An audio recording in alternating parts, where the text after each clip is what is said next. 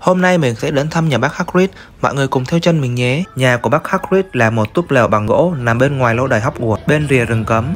Harry, Hermione và Ron là một trong số những học sinh thường xuyên đến thăm Hagrid trong túp lều của ông.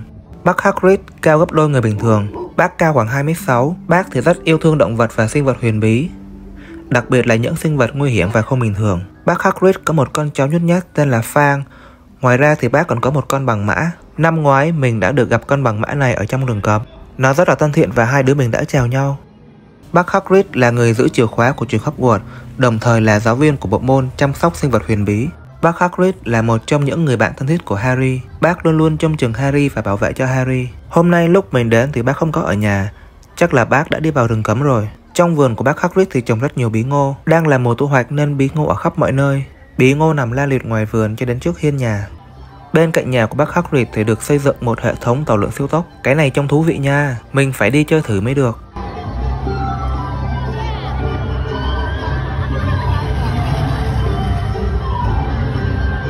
Mình đã phát hiện ra con bằng mã đang nằm ở trong tổ của nó. Nó đang bị xích và không đi đâu được cả.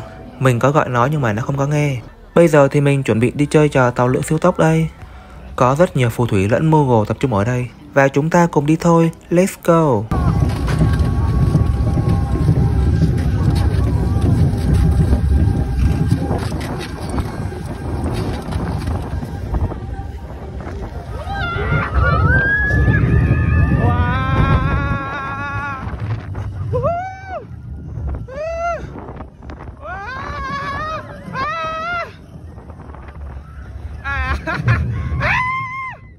oh my god.